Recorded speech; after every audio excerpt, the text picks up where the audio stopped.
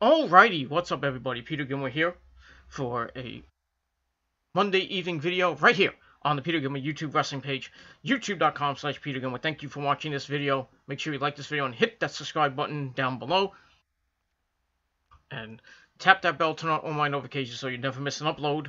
Share this video all over the internet. That's it. Alright, I hope everybody had a great Monday evening right now. 5.30 in the evening on a Monday, January the 13th, 2020. Already in the middle of January. Can you believe that? We are just talking about New Year's Day, and we're 13 days into the new year, the new decade. crazy weather we're having, you know, it was like 66 here yesterday, and this weekend we're getting snow. Ugh. And I gotta go to WOW on Saturday. I don't even know if I'm going. Depends on on how how bad the the weather is. So it'll suck if I have to miss the show, but even though, even if the show goes on, but we'll see, we'll see what happens. Hopefully they they're saying it's a mix, so maybe it will start off as a little bit of rain and then probably change over to snow by the end of the end of the night. So getting home, if I do go, if home will be a kind of an adventure with the with the train and the bus and everything. So we'll see what happens. If not, I'll just stay home and use use my day off. I got anyway. I guess I'll just chill and do something else. Maybe I just watch. Uh, I can't watch football because there's no football on Saturday. I'll probably just chill and maybe do some videos and do something my time. Maybe go to the movies. Well, it's gonna be crappy outside, so movies are out. So maybe I'll just watch some DVDs, maybe some Netflix, some video games that I've been neglected. Like I got Resident Evil 2 uh, from GameFly. I just started playing it. I'm having a hard time getting past the first board. You know, because I haven't played Resident Evil 2 in so long, and it's the new look Resident Evil. You know, things things are different from the first game, so I have to like you know, use a cheat code, use a cheat cheat sheet to find out everything. But I'm getting used to it. Probably won't be playing Resident Evil for long. I'm waiting for Final Fantasy VII remake to come out. Uh, then Resident Evil 3 remake is gonna come out. I might get that. Um, play it for a little while and then throw it away. You know. And this year the PlayStation 5 is coming out and they can play every single game on on every on um, PlayStation, PlayStation 1 games, PlayStation 2, 3, 4, and 5 games. So it's a, it's an all-in-one system, which is great. Price is fucking. Um, the price is too much for my for me right now. I can't even get the PlayStation 5 when it comes out. I'll have to wait till 2023 before it comes out, before I can get it. And by that time, PlayStation 6 will come out. So what what would be the point of of me even getting a PlayStation 5? I mean, I have every I have every PlayStation already, so but some I'm selling my PlayStation One, and and probably my PlayStation Two. I get the PlayStation Five when I have the money for it. Maybe my girl, maybe Rosa will get it for me when it comes out.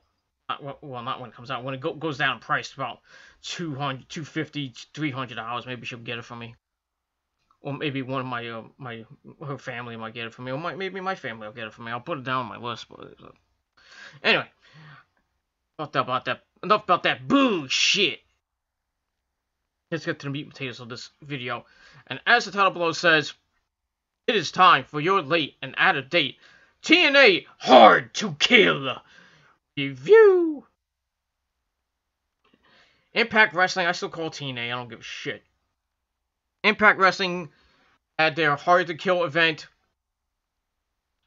in uh in I believe it was in Dallas, Texas, uh, last night, and it was a pretty decent show. It was alright. It was headlined by uh, the world title match between Sami Callihan and Tessa Blanchard.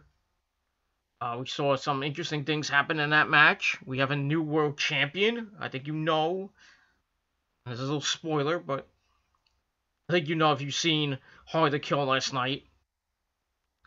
And now, now, now, Impact Wrestling is gonna be going on to uh, the next events.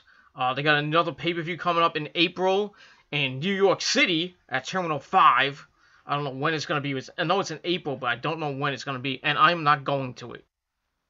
You want to know why I'm not going to it? It's because of the venue. Terminal 5 is a piece of shit venue. I'm, I'm going to the venue anyway because I gotta see in this moment. That's that's one thing. But I'm gonna tell you right now, I, I if in this moment is listening to this video, and probably are, Terminal 5 is a bad location. Really bad. Really bad stage. It's, it's just really bad. And the reason why is no air conditioning. It's gonna be April, so I mean it'll be okay. But you can't. It's gonna be so fucking packed from the front of the stage to this. From the front of the stage is here, like here, and you can fit like people over here. So I'm gonna probably be around here, somewhere like somewhere like around here. You know, I'm, I'm going here, even here, probably around here somewhere with Rosa. I'm gonna be a packed sardine. That's gonna be a humongous. blue. Especially when Black Veil Brides go on, and it's gonna be a humongous mess. I might move. I, would move to the front of the stage, but when, it, especially when In This Moment goes on last, because they're the headliner. But I never liked Terminal 5. I never liked it. Even when I went with Ring of Honor, when I went to Best in the World 2015, uh, I think it was 2014, 2015, when Jay, Le- when Jay Lethal won both belts. When it was the TV champ. I believe it was 2014. I might be, I could be wrong. But, uh, yeah, but Terminal 5 is, is a crap, crappy venue. It's like a dingy bingo hall. That way. It has a couple levels, you can see almost everything. The ring is to be right in the middle. They're to have a stage where you can sit on the stage like in Ring of Honor.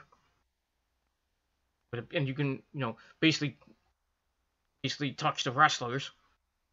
And I've been on I've been on the on the uh the stage twice when I was at Ring of Honor for a TV taping. I was in the front row. You can see me some for some of the matches, not all of them, but then I was on uh, the aftermath uh, on um, their YouTube page uh, when Kevin Kelly and Steve Corino used to do the aftermath of the house shows. They did it on their Facebook and and um, YouTube page. I was on. I was um. Wasn't on. You can you see me like maybe one video when they were doing uh. Uh, when they were doing uh, Field of Honor, you see me in one of the post post uh, the post show uh, videos. But uh, yeah.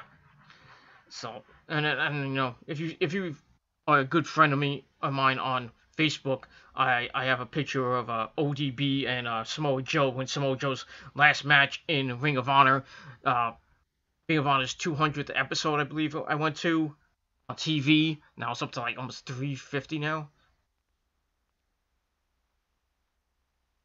But the venue is horrible. It is fucking horrible. And they're gonna have their next event called the TNA is gonna have their next event called Rebellion sometime in April. You know, I'm not looking forward to it. I don't want to go. I mean, if the if the ticket prices are cheap, maybe I'll go. I'll probably sit. I'll try to sit in general admission or sit somewhere near the front. Because you know the front row seats are gonna cost a lot. And on the stage. So I'm not gonna get the stage. That's, that's definitely out of my price range.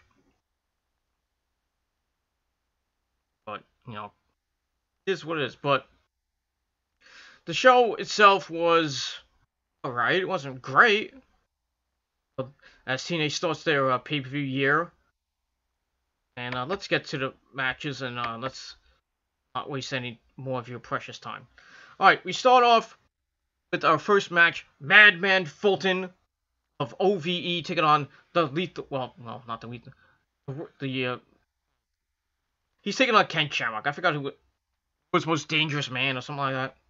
It was his moniker in WWE, WWF uh, back in the day, back in the Attitude Era. Uh, match was eh. It, it was really tough to get to get through, and you know, Madman Fulton beating the crap out of Ken Shamrock a couple of weeks ago on the program. And um, Ken Shamrock trying to get revenge. So we got this match, and like I said, it was kind of hard to watch. Dave and Jake Crist at ringside. Uh, Shamrock attacks the legs to begin, takes down Fulton, and gets a takedown. Shamrock looks for an armbar, but Fulton fights to the ropes, and then he starts beating up on Shamrock. Fulton single legs him, and um, Shamrock pulls a heel hook, and Fulton makes the ropes. So basically, this was like a cat and mouse game. Uh, you know, Shamrock trying to use his quickness and his his his strength and his his submission moves to ground the bigger and taller and stronger Madman Fulton, but get that. So there was that. And then uh Shamrock tries for a tope, uh, gets caught, and uh, tries a German and, and instead just drops Fulton down. so he botched that move. Uh, takes out Jake, posts Fulton, and goes back in with some kicks, and then Dave Dave dis- distracts him, gets taken out, and the ref tosses OVE to the back. They're out. Uh, Fulton attacks Shamrock, attacks the arm, hits a choke slam, but Shamrock fires back, looking for a hanging Kimura lock, and uh, drags Fulton to the mat. Fulton escapes, teasing that he popped his shoulder out. Ugh. It's disgusting. Uh, counts into a really horrible power bomb. Uh, but while this was happening, Shamrock gets the Rings of Saturn, uh, and he gets the win via submission. So he picks up the win, nine and a half minute match. I think went on too long, and it was really, I was like saying, why is this the opener? Should have been like in the middle, the middle of the card. This is a horrible choice by the horrible bookers at at uh, Impact Wrestling. Just bad. I would have had the tag team title match first, but that's just my opinion. So we get that. So, yeah, so a match I gave 2 out of 5 stars. It was just horrible, and that's all I got to say about that. Alright, then we have commentaries of, of Josh Matthews and Don Callis. Uh, they talk about Rich Swann's ankle injury. I think he he got last week, or at a, uh, at a different house, uh, a, not a house show, at a um, at another event, I believe. I don't, I don't really hear anything about that, but the, they're saying that he might not compete tonight, so it might be Willie Mack going on his own in the tag title match against the North. See what happens with that. And we move on. All right, match number two for the X Division title. We had Ace Austin defending against Trey Miguel. Uh, Trey had his mom at ringside. You know the whole thing with with Ace Austin, you know, kind of teasing, uh, teasing and and teasing uh, his mom, Trey Miguel's, excuse me, I can't even talk. Trey Miguel's mom and Trey getting into getting his business and then getting his ass handed to him. Um, so we got all that. So it was a good match, pretty, pretty good to uh fit, to start the match. Starts off with uh, Trey attacking right away, goes to the floor, then back in. Trey tackles him, follows with some ground and pound moves. Uh, Austin goes outside, but Trey hits an enzuigiri. And they go to the floor. Austin cuts him off with some knee strikes. Uh, Trey fires back with kicks and a kickflip moonsault. And then Austin slams him to the apron. They go back in. Trey hits a clothesline. Some chops. Then Austin dumps him to the floor and falls with a Fosbury flop. Little basically like in the in and out of the ring most of the match. But uh, you know they go they trade on the floor. Austin hits a suplex, slams Trey to the barricades, and um, and he starts chopping chopping Trey right in front of his mom and talking shit to his mom. And uh, goes back in, comes for a near fall. They trade they trade moves. Uh, Austin hits a super kick which gets a near fall. And then uh, he falls up with a slam, then another one, then Trey counts back. Austin chop blocks the knee and lays the boots to him. He targets the knee in the middle, the middle to near the end of the match. Uh, then he hits Trouble in Paradise. Uh, and a Bangorama for a near fall. Then he hits a slop. He, he falls up with a, a really bad looking sharpshooter. Uh, He gets a play, playing card and paper cuts Trey, and uh, goes for two. Ow. Uh, he goes back to work with some strikes. Trey fires back, hits a basement drop kick. Uh, then, then he fires up, hits an insecurity, goes up top. Austin avoids the move, and Trey hits an inverted suplex into the Dragon Sleeper. Uh, looked like he was about to win the title. Austin escaped, followed with some strikes. Trey trips him up and hits a flatliner for a near fall. And Austin comes back with a disaster kick for a near fall. Goes up top. He falls and Trey slips out into Cheeky Nando's, whatever that move is. And, and then a 619. And then Austin crouches him up top, hits a Hurricane uh, with, a fold, and he gets the win to retain the title. So, pretty good match. I gave it two and a half out of five stars. It went a little bit, a little bit next level, but didn't get that far. But still a good match as Ace Austin retains his belt that he won at uh, that he won last year. So he's held him belt for a couple months. Look at that. Uh, after the match, Ace tries to hit on uh, Trey's mom, and then Trey attacks him. So this feud is going to continue on, probably all the way to Rebellion. So another match. We'll see what happens with that.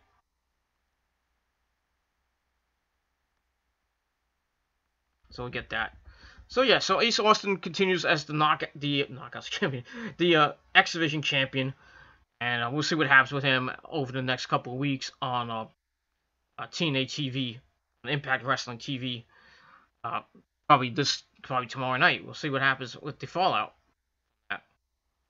And uh, that's all I gotta say about that. All right, then we get Gabby interviewing ODB, one of the participants in the Knockouts title match with uh, herself, Jordynne Grace, and Taya. Uh, she says it's been a hell of a year. She came back and got involved in all this mess. Thanks to fans that 2020 has been great so far, and she's going to become a five-time, five-time, five-time, five-time, five-time Knockouts champion. So, we'll see what happens with ODB and um in the title match. I, I really don't think she's going to win, but you never know. So, we get that. So, I give that two out of five stars. Then we get to the match. And uh, holy crap, was this bad. This was uh, the worst women's match in the history of women's matches. Almost worse than show. Uh, what was it? Uh, it was a, t- uh, a match in TNA that was just horrible. I forget who it was. I think it was Sharmell and uh, I forget the other person's name, but that was really bad. It was like way back, like 2006, I think. Uh, I forget the year when it was, but I think you know what I'm talking about.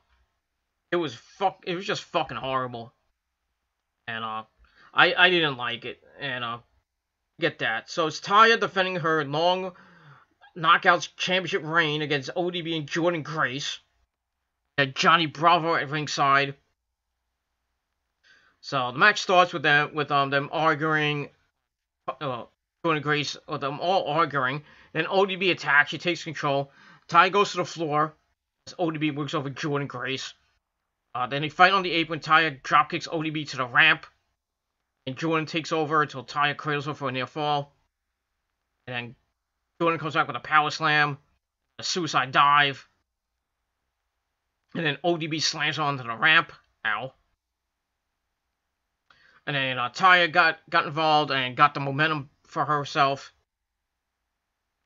Slamming up slamming ODB into the turnbuckle.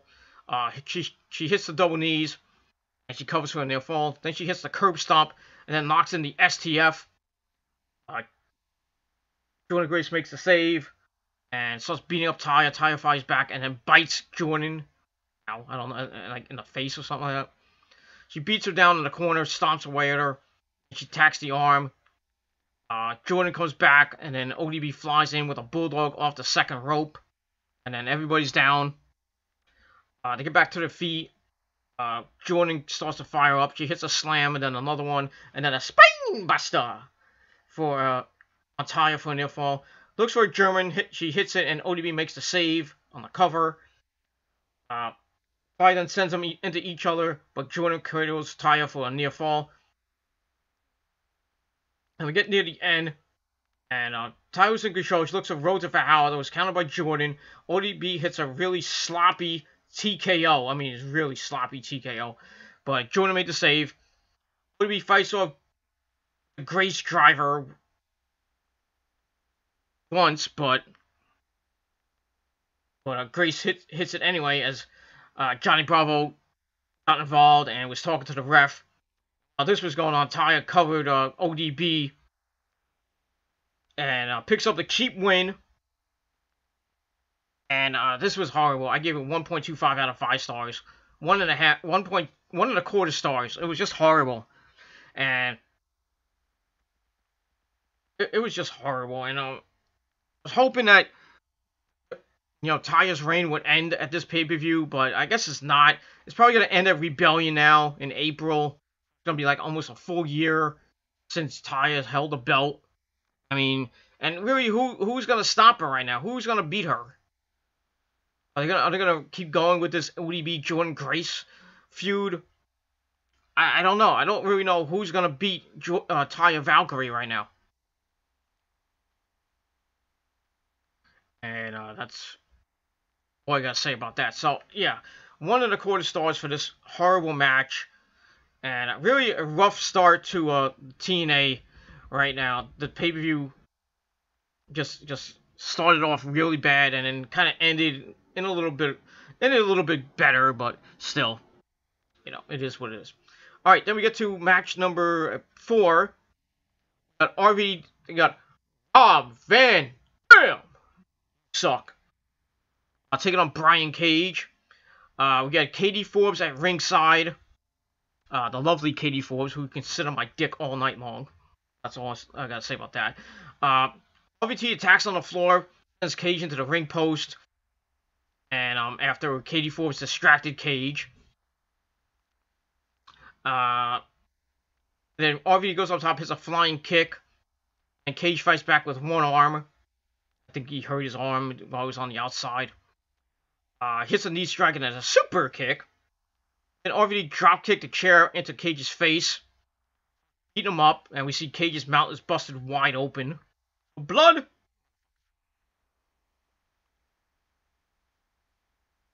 And then we see uh, Katie Forbes hold the chair in front of Cage's face. Already goes up top, hits the Van and Terminator, and goes for the cover, but stops as we see Daga arrive. And the ref stops the match. I guess because of uh, you know, after he probably got knocked completely out. I don't know. Um, so the refs take Cage away, and then RVD starts to attack Daga. So I I didn't rate that. I didn't rate it anything because it was just a waste of a waste of five minutes. So Cage is gone. Cage is gone. Uh, Cage is not, this was his last match in TNA, by the way and he signed a, a, a, nice, I think it was a nice three, five year deal with. We signed a deal with AEW, so he's going to be appearing on AEW in the near future. Uh, that that's nice and dandy. You know, put him in the world title picture. Um, him and Kenny could have that match. You know, they had a picture of, of themselves. You know, at a at a, at a some event. I think it was in um in Los Angeles. I think they had them they had them posing and then everyone was everybody they had a caption what would happen if the if the Swolverine faced the Omega. So you might see that. We might see Brian Cage versus Kenny Omega in AEW, and I think it'll be a phenomenal match. But we'll see what happens. So RVD wins via ref stoppage, and uh, that's that. I, I didn't like the I didn't like the finish. I, I think should just had RVD pin him and Cage goes to the back and leaves and goes bye bye with Melissa Santos. So I, I think Melissa Santos is going to AEW as well. I don't know what's happening with her, but get that. And then Daga and then Daga comes out. They start beating up at each other. Then we have a ma- uh, uh, impromptu match. Match was a little bit better. Uh, RVD was in control, and then Daga dumped him to the floor. He falls with a dive. They go back in. Daga flies, but gets cut off and RVD cradles him off for a near fall. Daga then get, hits a gut gut buster. And then uh, covers for a near fall. Falls from some more strikes. And then for move. Katie trips him up as RVD attacks him. And then he hits a leg drop. And RVD heads up top, hits the five star frog splash. pin Daga and a match I gave two out of five stars.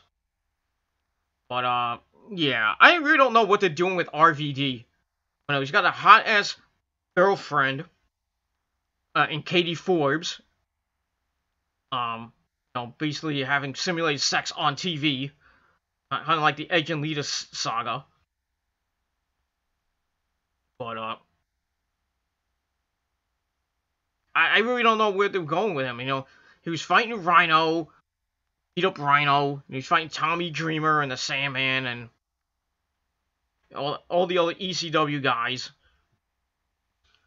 You know, now now he's like, like this cocky, this cocky, you know, wrestler. He has the hot girlfriend. You know, it's almost like the Edge and Lita storyline. You know, you know, maybe they'll maybe they'll have a live sex celebration on on Impact or something like that. I don't know. The way, the way they're they're going at it, you know, in in some of the uh in some of the the segments. You know, there was a segment where uh, they come in. I, I, don't, I think they were. Uh, I don't know who they who I think who it was. I think I don't remember who it was. They just barge in and uh they're making out, and then Katie Forbes gives them a lap dance, which wasn't bad, but you know I, I would love to be RVD right now and have that hot smoking ass on my dick, but um, it is what it is. But that's all I gotta say about that. So I yeah, I gave the match two out of five stars, and it was just I just don't know where RVD's going from here. It's just just a shame. And that's it. All right, then we see Gabby trying to get an interview with Sami Callihan, uh, but Jake Jake Crist refuses the request, so I'm not gonna get that. So we move on from there. Alright, then we get a to our next match, a call your shot trophy on the line match. Michael Elgin taking on Eddie Edwards, so it felt like an ROH match. Uh, match was match was pretty good. This was a hard hitting match. This is where the pay per view started turning a little bit up a little bit. They turned it up right here. Uh, get right to the action right away, going going at it like two bowls. Eddie dumps Michael to the floor, he falls with a with a plancha. And then Elgin drops Edwards with a forearm strike. He peels up the mats. Look at look at hurt Eddie on the concrete floor. Eddie counters back, but Elgin again drops him with a, with a couple of strikes. Back in, Edward Eddie knocks Elgin to the floor again. Uh, but this time Elgin cuts off the suicide dive with a forearm strike. He follows up with an anarchist suplex onto the exposed floor. Ow. Uh, they go back in. My uh, Elgin covers for the near fall. He starts to go to work with some clotheslines, and Eddie fires back, but Elgin cuts him off with a fisherman suplex for the near fall. And then Elgin has the advantage, you know. He grounds, he grounds and pounds a little bit, hits an enzuigiri. Uh, then they do a uh, suplex from, the, from inside the ring to the outside the ring which was a six spot. Uh, Eddie comes back with an overhead belly to belly on the floor. He goes back in, falls up with a suicide dive. Then he hits an enzuigiri, goes up top. Elgin fights back. Then Eddie hits the backpack uh, backpack stunner for a near fall. But uh, Michael Elgin comes back, uh, falls up with an overhead slam, and Eddie counters the German suplex into a blue thunder bomb for a near fall. Goes to the Boston Knee Party. Elgin counters into a spine buster. Uh, then he hits some clotheslines. Eddie then counters into a German. Uh, but Elgin pops up and hits a lariat. Uh, then he falls with a suplex. Eddie fights off a powerbomb attempt. They go back and forth, and Eddie goes down. They go back at it again. And uh, Elgin wins that exchange. But Eddie kept fighting back, back and forth, trading lariats. Then Eddie levels him with a clothesline. Then he hits a Tiger Driver for a near fall. And he hits a Hurricanrana. Uh, Elgin comes back with an insecurity, then a super kick. And they uh, go up top. Eddie tries to fight him off. Elgin does some elbow strikes and hits an Avalanche German for a near fall. Uh, then he fires up, go and he uh, hits Splash Mountain for a near fall. And then Eddie attacks the knee, works a half crab. Elgin gets his way out of it. Comes into a crossface. Eddie fights out of it takes the ropes to break the hold. Elgin's kind of pissed and starts arguing with the ref. Uh, he hits a lariat and hits and delivers a buckle bomb, but Eddie counters into a cradle for the win. So Eddie picks up the win. Um, I guess he gets a trophy now. But it was a pretty good match. Very hard hitting match. I gave it 3.25 out of 5 stars. Nice 20 minute match. Crowd was enjoying it. I, I enjoyed it a little bit. Like I said, 3.25 out of 5 stars for the match. And uh, we'll see what happens with Eddie Edwards and Michael Elgin as we uh, continue on with with that. So we, we'll move on from there, and that's pretty much that's all I gotta say about that. All right, then we get to our next match, no disqualification match. We had Moose on Rhino in a hard-hitting affair. Uh, match was pretty decent. Uh, Moose was uh, was working some Randy Randy Savage. What you mean, Randy Savage? Yeah, did. And some tribute uh, tribute fear. I don't know what he was. He was wearing some Macho Man gear or something, some shit like that. Anyway, uh, match was hard hitting, back and forth. Uh, they got like chair shots. Uh, on the floor. They they go into they go on a ramp. And then uh Moose cuts Moose uh gets a table, sets it up, makes a bridge of it, so we have a bridging table. Um, they go to the apron. Rhino cuts him off, slams him to the apron. Rhino then powerbombs him through the table. It's a near fall, tosses some chairs in. Moose cuts him off. There's a trash can leg shot. Uh, then they start beating the crap out of each other again. And we're getting near the end. Rhino cuts cuts uh, Moose off with a lariat for a near fall. And he goes for the gonna gonna go go go. Goes the ref and Moose through the table. Uh, covers goes for a near fall as a new ref came out. So Rhino's all fired up, looking for the spear again, but he picks Moose up. Moose hits a low blow, and then he hits the spear to finish it off. So, uh, good brawl, good fight. I gave it two and a half out of five stars. And Moose looked very good, and uh, we'll see where where he goes from here. Possible world title match. Who knows? So we get that. So like I said, 2.5 out of 5 stars for that match. And we move on. I then we find out that Rich Swann is not able to compete, so Willie Mack is going to go at it alone. So we got that. So then we go to the World Tag Team title match. The North taking on Willie Mack. And it wasn't bad. It wasn't a bad match. Uh, Willie Mack doing all he could, taking on both men.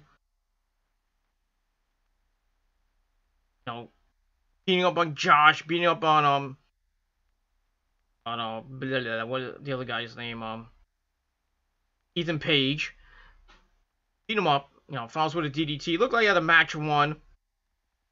We're getting to the end. And uh, Ethan Page is dumped to the floor. Mack falls with a tope. Back in, hits a frog splash for a near fall. As uh, Ethan Page pulled out the ref. And then, and then uh, looked like it was gonna be a DQ finish. But uh, Willie's like, Willie's like, no, no. And Mack hits the Mack stunner. Then he's double teamed. And uh, then then the North hit a double team spine buster to finish it off and retain the belts. So it was a pretty decent match. I gave it two and a half out of five stars. You know, sucks that Rich Swann couldn't make the match, uh, which is I think going to lead into uh, the eventual heel turn of Willie Mack. Because he's gonna say, say I did this by myself. You weren't there. Like, and he's gonna beat him up. Probably gonna have the match when Rich Swann gets better and then they're gonna lose, and Moody Max is gonna turn on turn on uh, Rich Swann, and uh, that's all I gotta say about that. So yeah, two and a half out of five stars for the match, and uh, the North continue on as champions, and we'll see who can beat them. I don't think anybody can can right now. It's not that many tag teams in TNA besides Jake and Dave Crist. That's it. But we'll see what happens from there. Maybe the Rascals, and that's it. But we'll see. Alright, then we find out that the next Impact pay-per-view will be Rebellion in April. Still don't have a date yet. And uh, we'll see what happens with that. But don't go. But like like I said, when tickets go on sale, don't go. Terminal 5 is a shit venue. That's all I gotta say about that. All right, then we get to the world title match: Sami Callihan and Tessa Blanchard. Uh, this was a great match. This was a, this was un, unbelievable. Uh, like their first encounter, well, the first and second encounters. Uh, they just blew the doors off off each other. They just beat the crap out of each other. So uh, it starts with Sami attacking. He hits the cactus special pile driver, and Tessa kicks out at two. Sami follows it up with some chops, and they go up top. Tessa bites him, and then hits the Magnum and covers for a near fall. So they were doing a lot of finishers to, to start the match, which was great. Then they go, then they go face to face and trade strikes. Tessa hits a head scissors, then she drop kicks to the floor, hits a suicide dive, then another one. Goes for a third one, but gets cut off, and Tessa counts into a Hurricanrana. She goes up top, falls with a cannonball, or and some strikes. And then Sami tosses a beer right into her face. Puts her knee first, her knees first into the barricade. Ow. He, he rolls back in, and Tessa comes in. Stop the count. Sami posts her posts her knee into the ring post and then punches at it. So he's really working on the knee of Tessa Blanchard. I think the one that was messed up. I don't remember. Um, then uh, Tessa comes back, works in an Indian deathlock. Sami works in an Indian Indian deathlock. Tessa tries to fire back, but Sami takes out her knee. He follows out with a sit sit out knee buster for a near fall. Really working on working on the knee of Tessa Blanchard. And uh, Sami, they Sami takes to the floor and knocks Tessa out in one shot. And uh, he, then he sets up a table, goes to the power bomb, and Tessa counters, but Sami counters the, the cannonball and power bombs it through the table. And they tease the uh, 10 count. And uh, Tessa gets back in at 9.5. Then we goes to the floor, peels up the padding, and uh, go to the apron. Tessa fires up, they trade strikes. Sami rakes the eyes, and Tessa does the same to him. They go to the ropes. Tessa hits the magnum on the apron, and Sami spills to the floor. Tessa fights to her feet, they roll back in, and Sami start arguing with the ref. And uh, they, they go back and forth. Tessa's like, "Come on, bring it on!" And um, they go out like that, and Sami takes out a knee, but Tessa counts into a Samoan drop. Uh, they go to the corner, and Tessa hits a draping code breaker. She gets a near fall. She gets up top to the Magnum. Sami sidesteps and hits a shoulder breaker for a near fall. Then they go back and forth again. Sami falls with a German suplex. Tessa pops up, hits a diamond cutter for a near fall. They get to their feet, and they go back and forth for a while. And uh, Tessa comes back. She hits the Magnum for a near fall. It's in the crossface, but Sami fights to his feet. Hits the Cactus Special Power Driver for a near fall. He looks to finish things off, but Tessa counters into a cradle, gets a near fall. Falls up with some strikes, and then Sami spits his look into her, into her face. Tessa counters with, with some stripes. Uh, Sami hits a pump kick. Tessa counters into the Canadian Destroyer. She hits another one. And then finishes off with the with the Hammerlock DDT, the Buzzsaw DDT, whatever you want to call it. Finishes off, and we have a new world champion. First time ever a woman holding a major title in any promotion. Tessa Blanchard gets the win, like a lot of people were saying that she was going to do. Had it maybe at Rebellion, but that's just me you know, and, and through all the drama and all the controversy that Tessa's had, you know, with, with her racist comments in Japan and all that drama in Japan, Allysin Kay, Chelsea Green, La Rosa, and know, Priscilla Kelly calling her a bully and all this other stuff. She overcame that. Just now is the world heavyweight champion. And a match I gave three and a half out of five stars. It was pretty good. And you know, so Tessa, you know, I'm happy she won. In, you know, in turn, you know, she, I kind of think, you know, she does have some demons. That she's not perfect, as Melissa Santos said, defending her uh, on um, her Instagram. So, you know, Tessa's not perfect, and we'll, and everybody's not perfect. I'm not perfect. You're not perfect. Everybody's not perfect. We'll have our flaws and everything else, but we overcome them and we strive to be a better person. That's all you can do. So, Tessa is the champion. I'm happy for her. Now we're going to see what happens as the, a new era starts in TNA.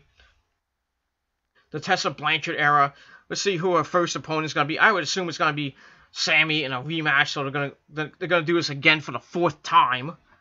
Fourth time they're going to get a rematch, probably on on Impact, like they did with a. Uh, you know, Brian Cage won. I think he beat Sam, he beat Sami Callihan at a pay per view. Then then on the tapings, I think the night after was the tapings. Sami Callihan won in a steel cage, won the title, and then he uh, ran with it for like a month or so. Didn't hold it for long. So that's it. So here's what it is. So we'll see what happens with Tessa and reign as champion. I think it's going to be a little bit of a long, not a long reign per se. I'd say maybe about two, three months, maybe four months max. But uh, to hold it with pride, and she's to fight all these challengers. And and all the guys. Yes, I have a nice little mustache. Thank you very much. Um, I gotta cut it off later. I'm gonna cut it off probably tomorrow or uh, Wednesday. But uh, we'll see what happens with that. Uh, but yeah, but TNA Hard to Kill was pretty good. I gave it 6.25 out of 5 star out of 10 stars. And um, that's it for me. So thank you all for watching. Make sure you like this video. Hit that subscribe button down below. Subscribe to my other channels as well. Show me your love and support. And uh, remember to tap that bell. Turn on all my notifications so you never miss an upload. And if you have any wrestling questions or any general questions you want to ask me, any question at all, open forum. Open forum. Ask me anything. Uh, put your questions down below in the comment section of this video or any one of my future videos. Or hit me up via Facebook and Twitter. Twitter link is down below in the description box. And if you're on Facebook, just type in Peter Gilmour, you'll find me somewhere. Yeah. And uh, that's pretty much it. So that's it. Thank you for watching this video. Monday Night Raw coming up. And a little over an hour and a half. Watch that. I'll give you my review on Wednesday. And uh, but we'll see what happens with that. So that's it. So thank you for watching. I'm Peter Gilmour signing off. Peace out. Rock on. And if you're not down with that, well, kiss my ass, suck my dick, and lick my taint and my balls too. That's all I can say about that. So thank you for watching. I'm out. Peace! Bitches.